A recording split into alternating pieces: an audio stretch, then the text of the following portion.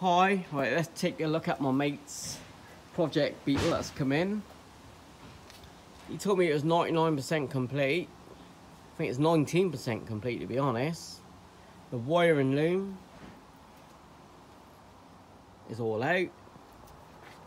No switches, no ignition key, nothing like that. Some seat belts, a couple of wings, but he's keeping these.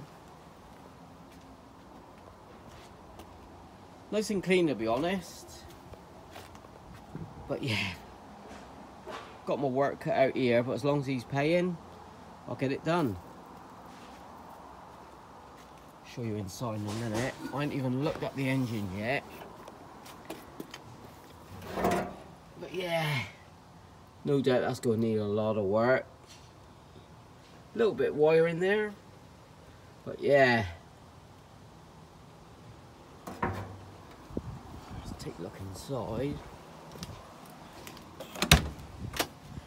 Steering column itself's not, not original, but I've got one with an ignition key, etc. So I bung that one on. Decent floors. It's just some random rubbish here, seals. Nice headlining though, give him that. Nice 1200 bug. Looks of it, nice steering wheel. Yeah, he's rock solid. But yeah, I've got my work cut out. This loom looks like from a later Beetle, but I'll get it sorted. Just random box of struts. Yeah. So this is part two. Customers Beetle. Keep you posted on all the progress.